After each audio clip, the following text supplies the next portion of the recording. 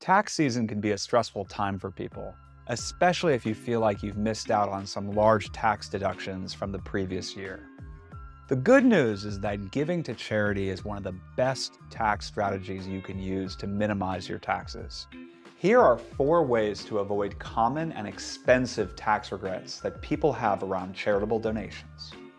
Number one, don't donate cash if you can donate stock or crypto with gains.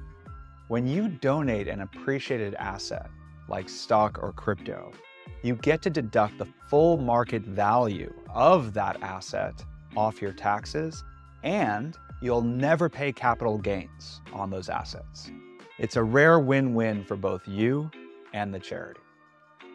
Number two, don't lose track of your donation receipts. Charitable donation is one of the most valuable deductions that the IRS offers. But if you don't have a receipt, you can't take the deduction.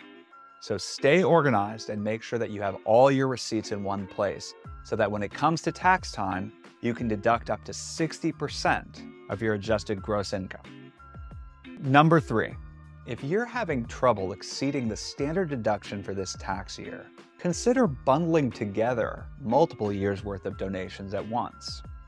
This is actually very easy to do if you use a donor advised fund like Daffy. You can contribute any amount of money to your fund and get a full tax deduction this year.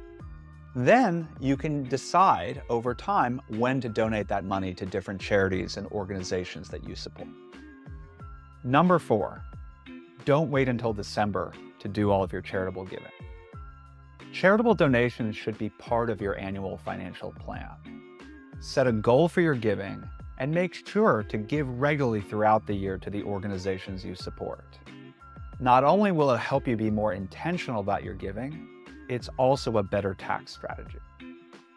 Daffy makes it simple to save money on taxes. When you sign up for Daffy, you can donate stock or crypto. You'll have all your donation receipts in one place for tax time, and you can more easily plan your giving for this year or years to come.